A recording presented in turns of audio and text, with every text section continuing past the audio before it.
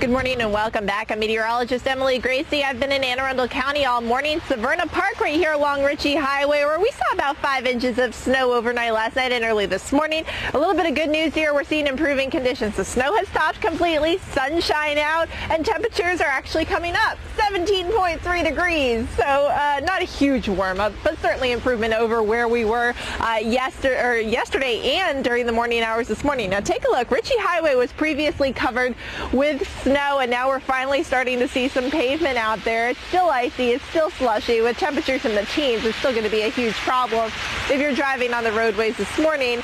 Now take a look. You can see there's a lot more cars out here than were, there were earlier, but at least we can see that pavement now. That is a new development. I think the sun's certainly helping things and the road crews just coming through one right after another, helping to improve these conditions. Now the parking lots are slowly starting to get cleared out. We're here in these shopping centers that are very widely used. A lot of the businesses still not open. In fact, a lot of these businesses right here in this shopping center, which typically open by this time, are not open this morning. McDonald's is open. It's hot, and A lot of people heading there because not much else is open at this time. Now, it is going to be slippery to walk. It is going to be easy to clean off your car because the snow is so light and fluffy.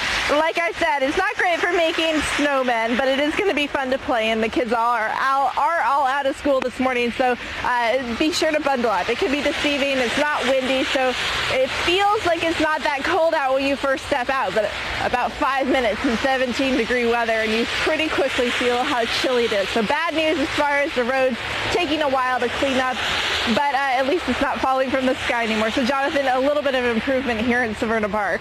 Yeah, and uh, Emily, you're uh, you're kind of in the bullseye there with that five inches. About five and a half inches was the most I could find out there in uh, Anne Arundel. And you were saying coming in from the Eastern Shore, you saw a little.